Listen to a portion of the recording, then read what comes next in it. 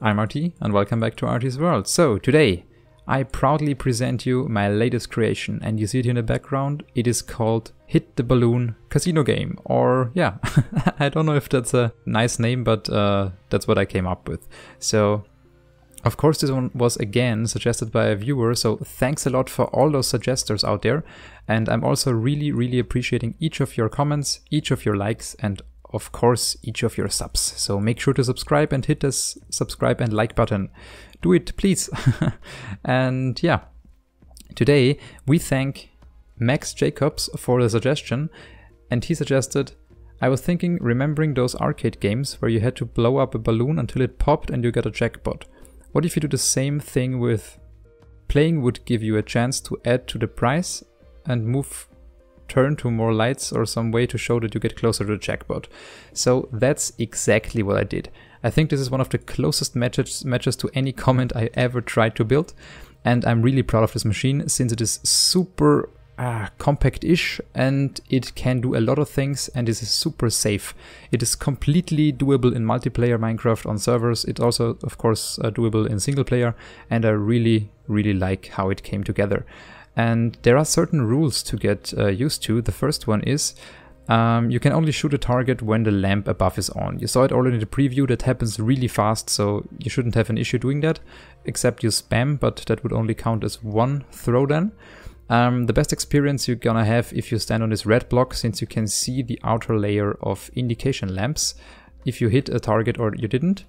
And the third rule is you can only hit it 16 times. Doesn't matter where you hit it. You can also, for example, aim like here or there. That doesn't matter. But if you hit the target, it will count as a hit and you can only hit it 16 times. And you have to fill 15 lamps in total to win the netherite, uh, the netherite block here, which is the main jackpot in this case. Of course, there are many ways to customize this machine. You can add uh, dispensers along the way if you, for example, halfway through or even three, three lamp through but for the sake of this video, I just choose to do the netherite block at the end. And since our payment or our currency in this case is only diamonds, as we can see here, it's a very low input price basically for what we can win as a jackpot. And I also designed this machine to be really foolproof. So if you, for example, afterwards play, if we spam the target, doesn't matter, just counts as one hit. If we go here and try to like sneak up and hit the target from here to get an easier uh, 15 signal strength or if you hit the bullseye easier, doesn't count since we stand on the pressure plates and you cannot do anything to cheat this machine. You could cheat it, for example, if you're in creative mode and of course fly here on the top and then shoot down. You could prevent that too by just putting glass uh, on the top layer if someone if on the server could fly or something like that. But yeah, I think that's an exception and you don't need to worry about that. So I designed it really to be foolproof and I'm really proud of my design. And with that said, let's try it once more. So we're gonna insert here another diamond. We're gonna come here to the red block and wait for our 16 snowballs. So now we can hit 16 times the target until we need to, yeah, get play another round. So uh, one thing to say in advance, in the preview you saw before where I just uh, won a netherite block, I set the difficulty to like really easy. Um, to anything above signal strength 3 or so will uh, give you one lamp progress. And for this round I've set the difficulty to really hard, so only signal strength 14 and 15 will give us a progress lamp. So as we can see we hit the target, but we do not get any progress. And if we go closer to it or go to the to the plates, the lamp will turn off. We cannot hit it. Yeah, we, we could just throw snowballs at it, but it won't do anything. If we fly, for example, as, as I said before, um, yeah, it's now easier, of course, to hit signal strength 14 or 15. But I only managed to do it once, even from this close distance. But uh, you get the idea, you can place here very like highly valued jackpots, can be even more than netherite block. Um, if you set a difficulty to really hard, um, yeah, players won't judge you if you if you um, need to be very precise in your snowball throwing and there's also a little bit of randomness to it so it doesn't matter how a good snowball thrower you are at some point you will still depend on some randomization that is uh, yeah that, that's just Minecraft. So here's the snowball stock, as you can see here, the stockpile. And I want to show you now every and each of those circuits. I also conveniently uh, colored them or color coded them to make it a little bit easier to understand it. And in the second part of this video, we will build it block by block together so you can build this machine in your single player or multiplayer world and play with your friends or yeah, just uh, charge some money and get rich on a Minecraft server or whatsoever. So um, I will go subsequ subsequently through all the circuits. So we have here our simple item filter with our currency item, which is the diamond. And by inserting the diamond, we move from the left to the right this X and activate another bunch of circuits. But the most important one um, is this blue one. Since the blue one, where is it, uh, will deactivate this torch here and therefore activating this torch on the green circuit. And the lime circuit just powers all this redstone here, including this piston. And if we now, if I can get some snowballs, let's try that for example. If we now hit the target, we can see the signal cannot propagate through. And as the blue circuit or as we start the casino, this piston will um, stick its block one block upwards. So, and I will demonstrate it to you now so you can understand what I'm saying. So we insert here our diamond. We move the X here to the left. Of course, we get a bunch of snowballs in the front. yeah, let's just collect them. and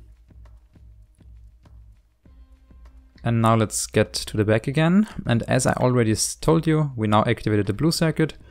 We deactivated this torch, therefore activating that one and popping up this piston. So if we now hit this target block, it will transfer the signal through this comparator line we compare it or subtract the amount of uh, signal strength in this item hopper here. And only one signal strength or two in this case 14 and 15 are if we hit them lighting up this redstone therefore adding one signal strength in this dark green signal strength counter or signal strength increaser. So this adder just adds all adds all the signal strengths up and with this orange circuit displays it to us as a player in the front with those lamps. Those orange circuits are completely unnecessary for functioning of the casino. They are just for visualizing how far we progress in this machine. So I can show that to you very easily. Uh, here we have this nice indication. So we have 13 signal strength uh, coming from this hopper. Therefore, we need 14 or 15 to get uh, any signals through.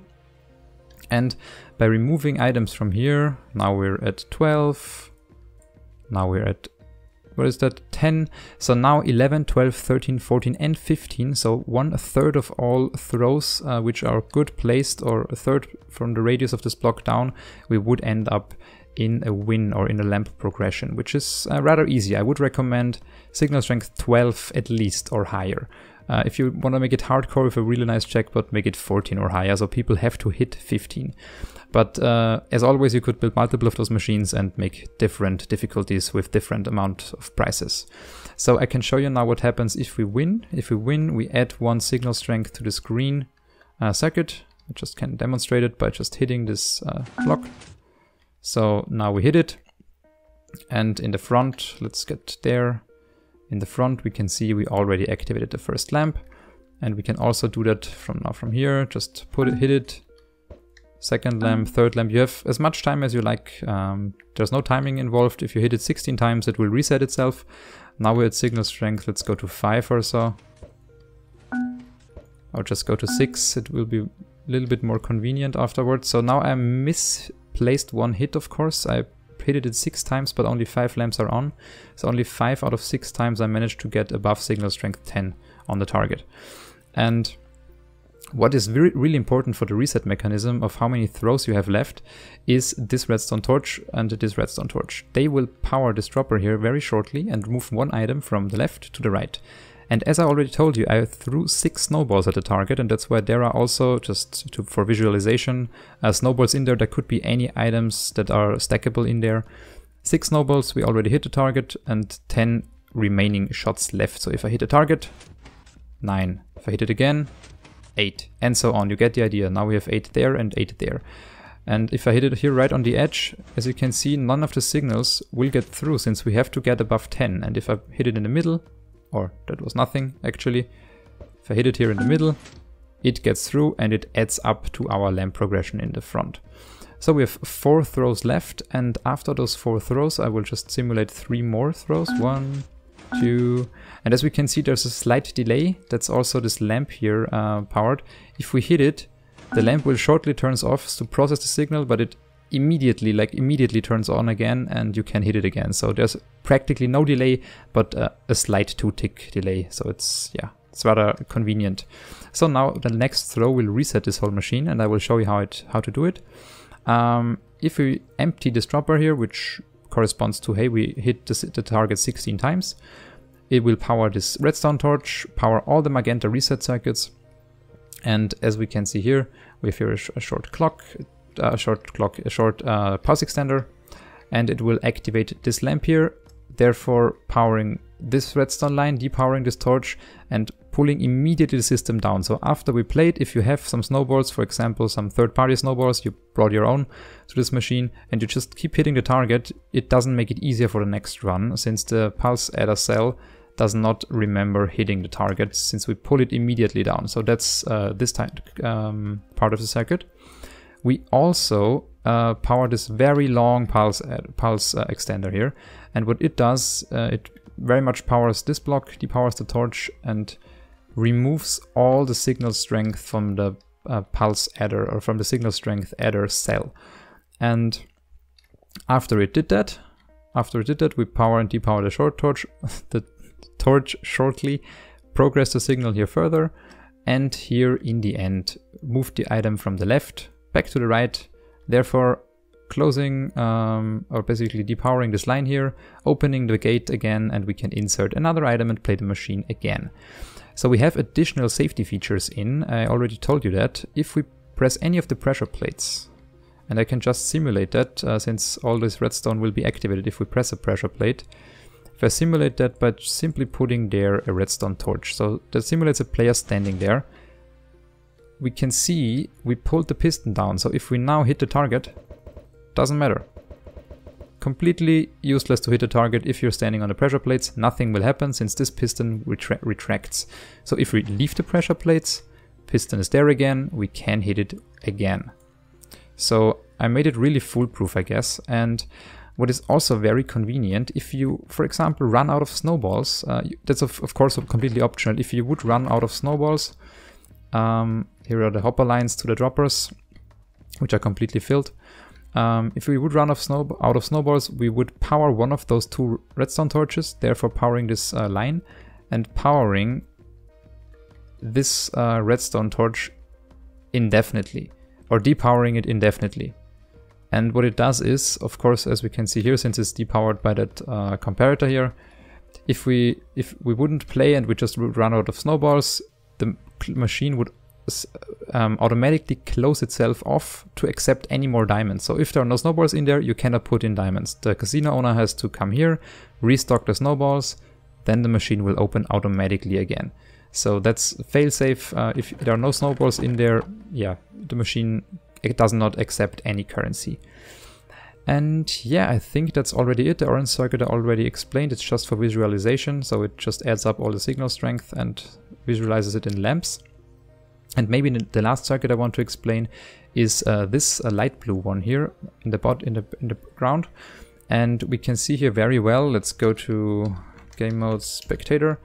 We can see here very well that uh, this observer clock will be started for with this pulse extender for a certain amount of time, and exactly eight items from those dropper each will be dispensed to the surface, and therefore we get our 16 snowballs to play with. And as I already told you, now I will show you what I explained to you in words with uh, some action, but it's really fast, of course. And yeah, uh, what I also forgot to mention is we, with this long clock here, power also this piston and this yellow line, and the yellow line just moves all the items from the right back to the left, so we can start all over again.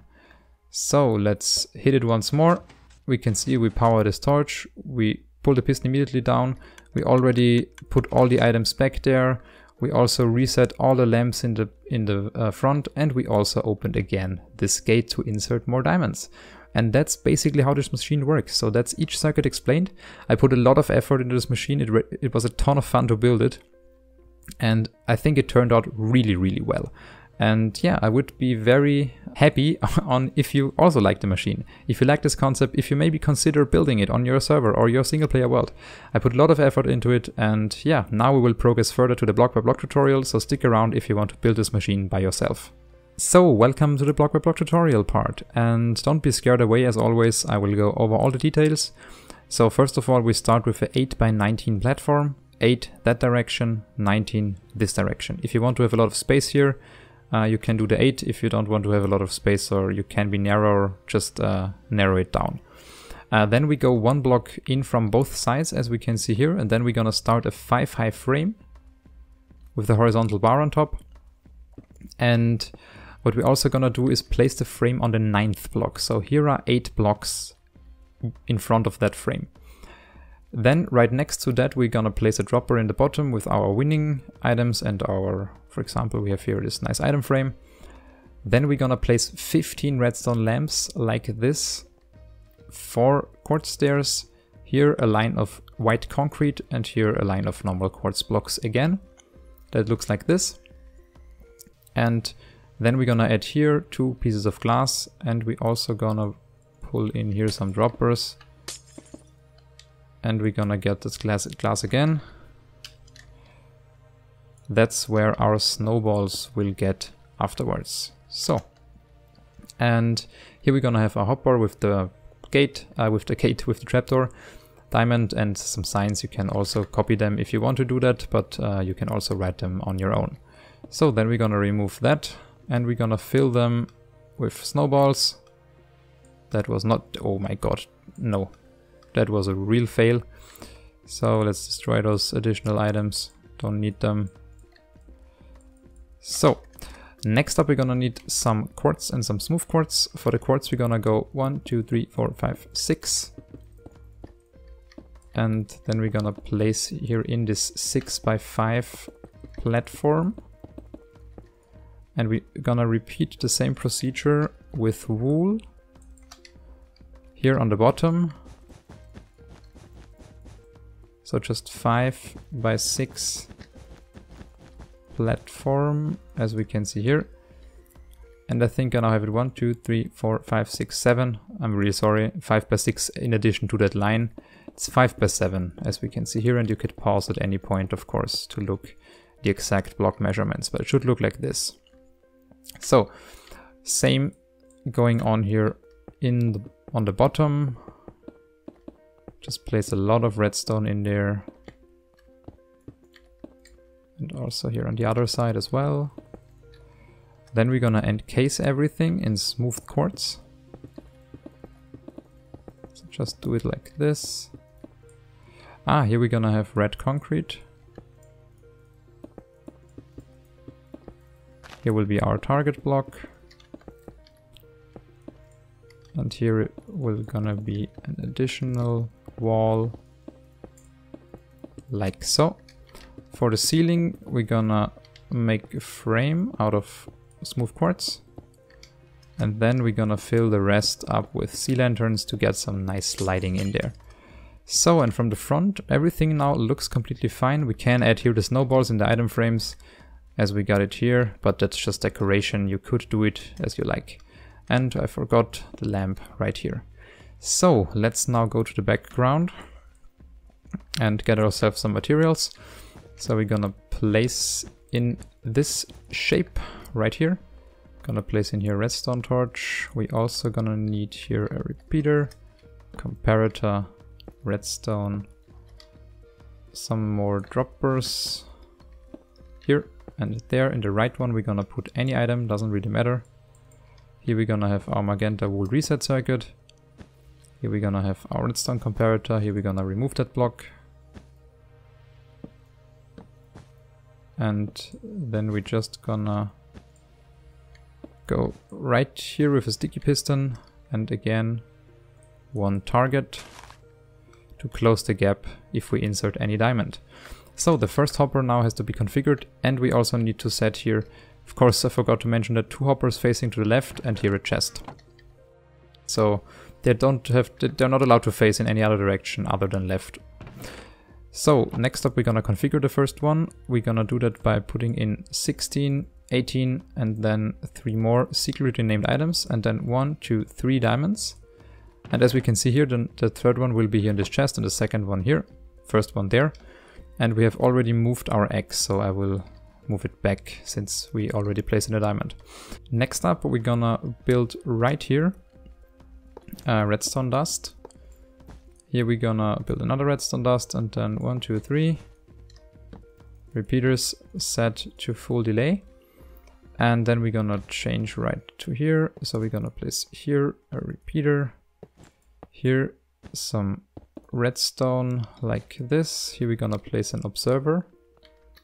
Another observer. Sticky piston. Here we're gonna have a block. Repeater. Then we're gonna place in right here a comparator, there a comparator. Redstone dust everywhere, sticky piston, and a repeater set to two ticks right there. So if we play now, and there are already some um, snowballs in there, we can of course already place in here our hoppers. Just place them in like this and just put here, just get some pre-filled chests now. So that should be enough. Just get some snowballs, they will get transferred into the system. And as we place in, for example, here a diamond, should already get 16 snowballs as we can see here. That's perfect, that's exactly what we need. Next up we're gonna add the black wool and for the black wool we just reach the output of those uh, two uh, droppers with comparators, to redstone torches, and then just go 1, 2, 3, 4, 5, 6, 7, 8, 9, 10, 11, 12. Just place a repeater now. Again, 1, 2, 3, 4, 5, 6, 7, 8, 9,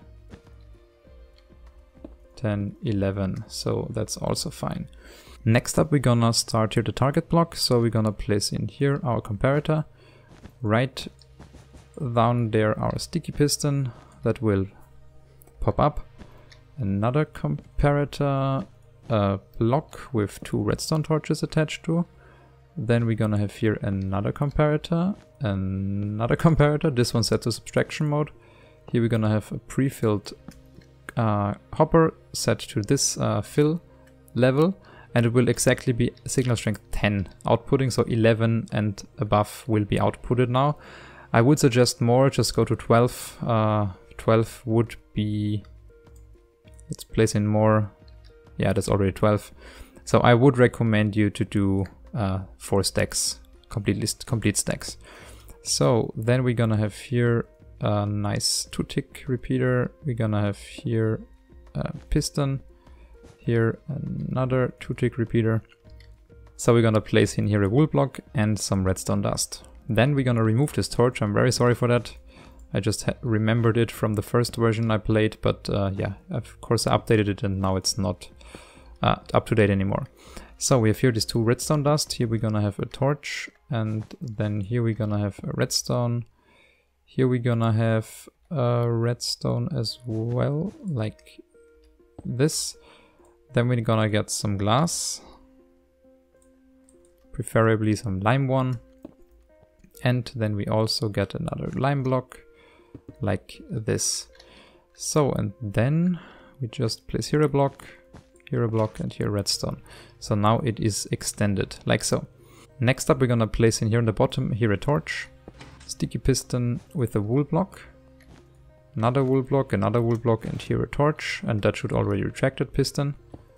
Some redstone, here we're gonna have a repeater, and here we're gonna place a block here we're gonna place a repeater set. Oh, now we got 16 additional snowballs. Uh, sorry for that. Here we're gonna place this kind of shape and we can also tidy it up. Do it like this. Nice. So then we can already place in here our magenta torch with a redstone like this and here we're gonna have a repeater. That's for later, that's just uh, preparation. Next up we're gonna go down two blocks diagonally like this starting from that piston here and then we're gonna add in right here a comparator with a redstone block, comparator set in subtraction mode. Then we're gonna have right beneath this block right here and there. Here we're gonna have a uh, piece of redstone dust. Here we're gonna have a comparator. Here we're gonna have a chest with any item in there. Just place chest in there or so. And here we're gonna have a redstone torch like this. Then we're gonna switch sides. We're gonna place in here two redstone dust. Sorry, that should not happen. Here a block with a comparator set to subtraction mode. Oh, that should be normal. So then we have here a redstone dust. We're gonna have right here a block with some uh, subtraction mode comparators. Here a block, there a block, there a block. Two pieces of redstone like this. Then we're gonna have a comparator set in this direction, so subtraction mode. Then we're gonna have a block right here, and we're gonna have a block right here with our final comparator like this. And we're gonna missing a block on top like that. And I'm really sorry, I have to go back to the other side. Uh, we misplaced, unfortunately, these blocks. So we need to get each block one block over, so the chest with the chest inside. We're gonna need here the redstone with the torch and we're gonna need our comparator set to normal subtraction mode here, ah, to normal mode right here, and our redstone like that. And yeah, I'm really sorry for that. If we now place in here a torch very shortly, we should get this signal strength up to uh, 1. If we get another one there, it would be 2, and so on. And if it starts at 15, sometimes there's a problem where it starts at 15, just place in right here a torch, wait until the signal strength is zero, again right here, and then just remove the torch again and start over by adding the torch very shortly right here. So next up we're gonna add in here our note block set to like uh, pitch 5 and get in there an uh, iron block to make it sound a little bit better. And then we're gonna start already with the orange line. So we're gonna have a comparator. So let's go and grab a little bit differently here our inventory. So another redstone dust, another comparator. Then we're gonna have one, two, three, four, five, six, seven blocks. We're gonna place in redstone all across right that. Uh, then we're gonna go beneath this comparator, place here redstone dust, place there redstone dust. Here we're gonna have two repeaters like so, facing in that direction. Then we're gonna have here a block with a redstone torch like that. And we're gonna grab a redstone torch right here, place two blocks out of redstone dust and it should go off again. Then we're gonna have right here a repeater and we're gonna grab the redstone dust right from here. We have here another repeater and sorry, we can replace it with redstone dust like so.